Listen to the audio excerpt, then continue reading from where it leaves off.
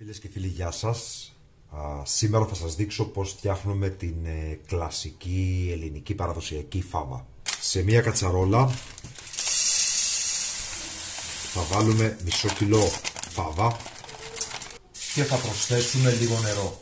Θα βράσουμε για περίπου 6 με 7 λεπτά. Βλέπουμε ότι έχει αρχίσει και βράζει, οπότε θα αφαιρέσουμε από τη φωτιά, θα τη σουρώσουμε και θα την ξεπλύνουμε πάρα πολύ καλά. Και επιστρέφουμε τη φάβα στην κατσαρόλα και προσθέτουμε νερό για να την καλύψουμε. Έχουμε βάλει λοιπόν το νερό και θα αφήσουμε τη φάβα να βράσει ξαφρίζοντας, αφαιρώντας δηλαδή τους αφρούς που θα δούμε ότι σχηματίζονται. Θα σας δείξω σε λίγο πώς. Βλέπετε ότι καθώς βράζει σχηματίζει έναν αφρό τον οποίο θα αφαιρέσουμε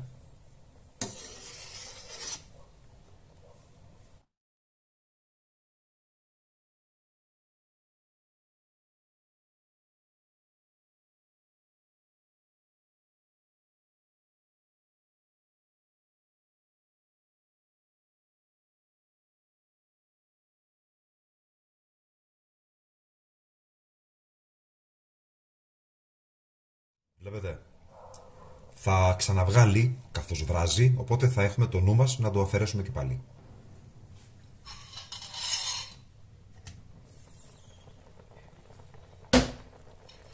Βλέπετε, ξαναβγήκε αφρός,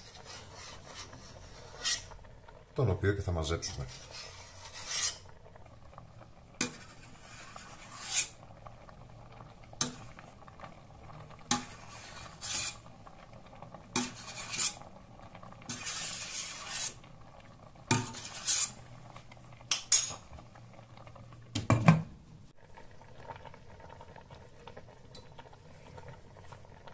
Ο αφρός πλέον έχει σταματήσει. Προσθέτουμε ένα καρότο, ένα κρεμμύδι και μία-δύο σκελίδες σκόρδο. Προαιρετικά, αν θέλετε να δώσετε μια πιο βελουτέ υφή, μία μικρή πατατούλα κομμένη, έναν κύβο λαχανικών, δύο δαφνόφυλλα,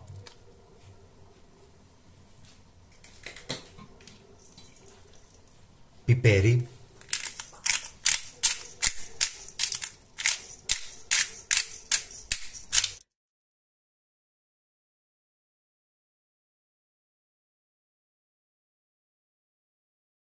προαιρετικά λίγο θυμάρι και αλάτι κατά προτίμηση,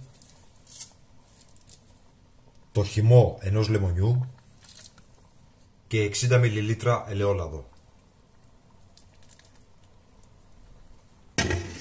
Το σκεπάσουμε και θα το αφήσουμε να βράσει για περίπου 40 λεπτά.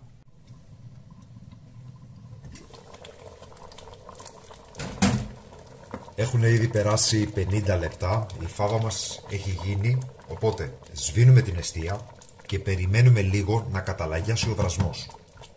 Και φυσικά θα αφαιρέσουμε τα δαφνόφυλλα. Αν έχουμε ραβδομπλέντερ, θα χρησιμοποιήσουμε το ραβδομπλέντερ. Σε περίπτωση που δεν έχουμε, στο απλό multi, στον πολυκόφτη δηλαδή, θα μεταφέρουμε το περιεχόμενο σιγά σιγά, κουταλιά κουταλιά δηλαδή και θα το αλέσουμε. Εμείς θα το κάνουμε με το ραβδομπλέντερ.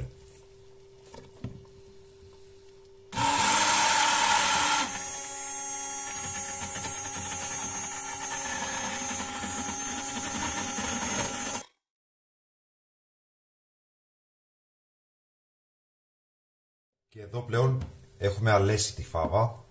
Βλέπετε. Βελούδινη υφή. Ε, μη σας απασχολεί που φαίνεται αρκετά ρευστή. θα πρέπει να έχετε κατά νου ότι μόλις κρυώσει θα σφίξει εντελώς. Θα γίνει μια παχύρευστη κρέμα. Την αφήνουμε λοιπόν πάνω στην ε, αιστεία ε, μέχρι να κρυώσει και να δέσει. Να σας δώσω εδώ και ένα tip. επειδή πολλοί κόσμος ε, δυσκολεύεται στο να καταλάβει ε, αν το, η ποσότητα του νερού είναι αρκετή, είναι περισσότερη ή λιγότερη από ό,τι πρέπει, σε περίπτωση που η φάβα σας βγει πολύ νερουλή, πολύ απλά αυτό το χυλό αφήστε τον πάνω στο μάτι, αφήστε τον πάνω στην αιστεία, ε, έχοντας την αιστεία σας αναμένη στη χαμηλότερη ένταση, στο μισό ή στο ένα για παράδειγμα. Έτσι.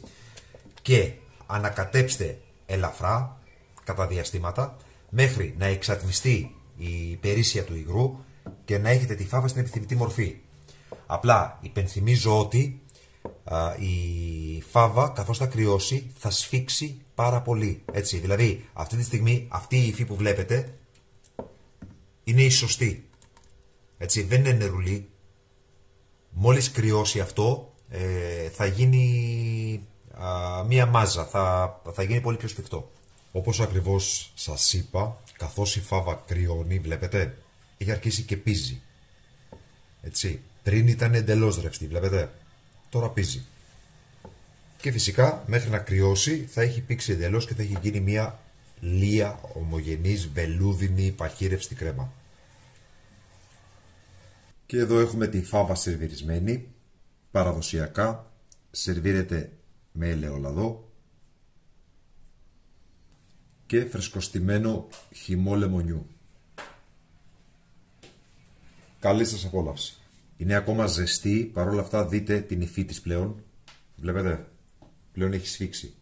Σερβίρετε τη φάβα με ζυμωτό ψωμάκι, με προζύμι. Ολικής άλεσης είναι αυτό. Και φυσικά α, λίγες ε, ελιές. Καλή σας όρεξη και καλή επιτυχία σε όσους το δοκιμάσετε.